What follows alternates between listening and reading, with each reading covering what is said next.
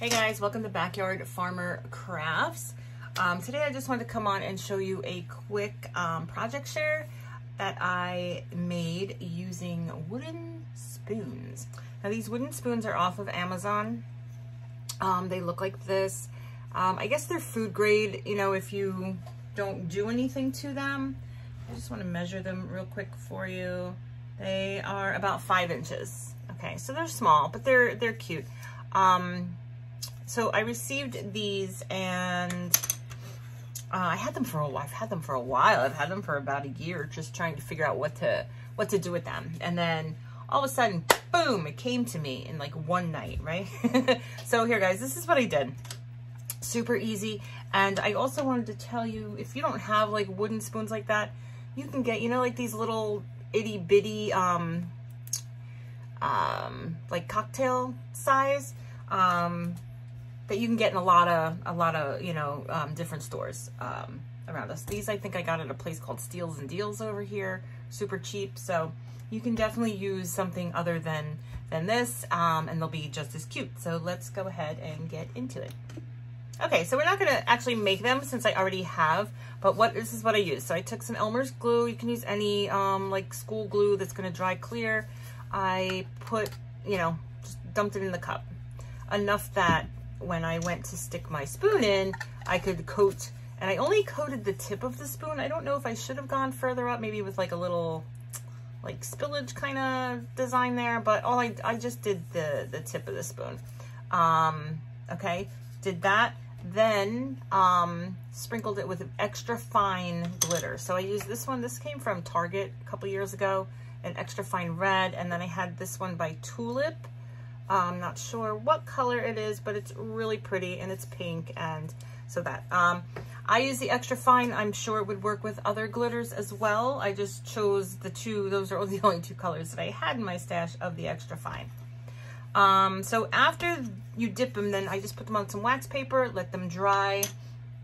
Uh, once dry, and make sure not to touch them because if you touch them to see if they're dry, you're to mess up the glitter impression um, and that. So just give them time. I gave them like, I think I gave them overnight.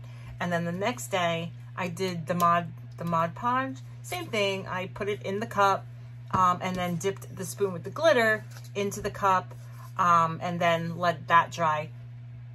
Just keep in mind when you do that with the Mod Podge, what um, I kind of messed up a little bit. If you can see in here, like it's not totally clear because I think I just had too much pooled in there. So just try and let enough of it drip off so that you get a nice smooth um, finish without the without the white um, haze showing through. Um, and then we just let those dry forever. And then when we were done, we just jazzed them up with a couple of these little bows that I got off Temu, Timu, Temo. And just look how cute they look. Aren't they adorable? And then the red, I just put the burlap the burlap bow. Now I am struggling um, with what to do up here. I don't know if I should do something. I don't know if I should write something.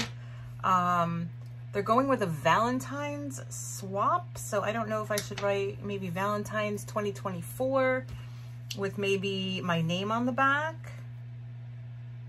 I, I didn't want to I didn't want to write Valentine's Day because if anybody wants to repurpose these in their crafting, they may not want it to say um, Happy Valentine's Day up there. So maybe on the back, I'm, I, i am not sure, guys. I'm really not sure what to do. But I thought they came out super cute, easy to make.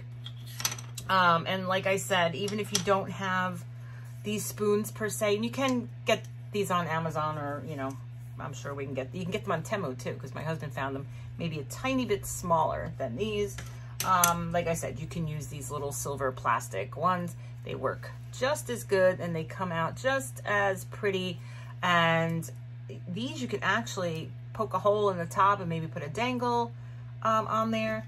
I'm possibly do that with this too. Um, maybe I could try it on this one just to see how the drill hole will go into this because it's not real not real fat, but I needed to, nah, forget it. I mean, it would be too much, too much, too much work and a chance of breaking them. All right, guys, so I just wanted to come on real quick and show you this little project share. I hope that it's something that you can add to your um, crafty world. Have a great day, and I will see you in the next crafting video.